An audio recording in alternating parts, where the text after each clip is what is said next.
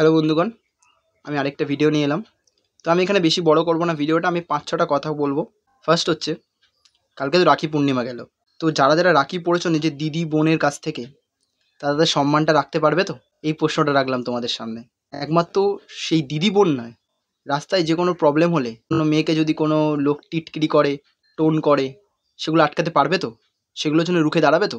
হাজার হাজার কোটি কোটি লোকের মাঝখানে তুমি একজন জাস্টিসের জন্য লড়ছো সেটা কেউ দেখবে না। সেইভাবে সমাজ চেঞ্জ হবে না। রাস্তাঘাটে এই ছোট ছোট কাজগুলো যদি তুমি করো, তাহলে হয়তো সমাজটা অনেকটাই চেঞ্জ হবে। ফার্স্ট এটা বললাম। সেকেন্ড কথা হচ্ছে ইস্টবেঙ্গল মোহনবাগান হ্যাঁ ডার্বি হলে যেই দুটো দল, দুটো দলের বিরুদ্ধে নিজের প্রাণপাত করতেও রেডি থাকে। যার জন্যে ডার্বিতে দুটো গ্যালারি আলাদা করা হয়, যাতে দুজনের মধ্যে কোনো বিভেদ সৃষ্টি না হয়। সেই দুটো দল এখন এক হয়ে আরজি করের আন্দোলনের জন্য লড়ছে।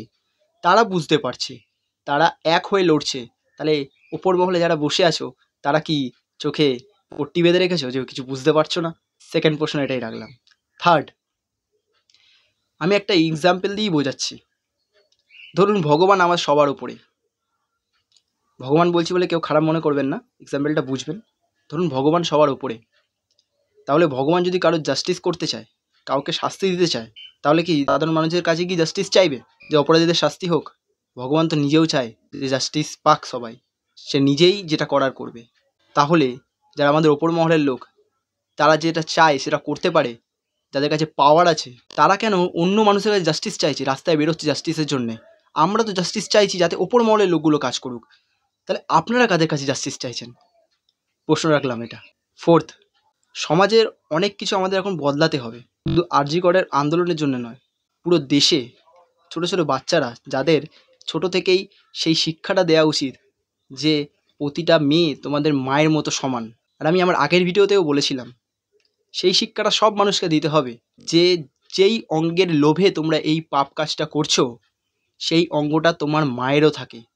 আর তুমি সেই অঙ্গ থেকেই জন্মপাত করেছ, তুমি যে পৃথিবীর আলোটা দেখছ, সেটা এই অঙ্গের মাধ্যমেই হয়েছে। তাহলে সেই পবিত্র অঙ্গের কেন তোমরা অপমান করছ? ছোটো থেকেই শিক্ষাটা দেওয়া হোক। Sex education is the biggest education for every person এই কথাটাও বললাম, আশা করি অনেকজনের এইটা পছন্দ নাও হতে পারে, কিন্তু এটাই সত্যি। আর এখন ঘরে বসে থাকলে চলবে না। এখন রাস্তায় বেরোতে হবে। এখন জাস্টিস চাইতে হবে। সমাজকে বোঝাতে হবে যে বাংলা বাঙালি চাইলে কি না করতে পারে।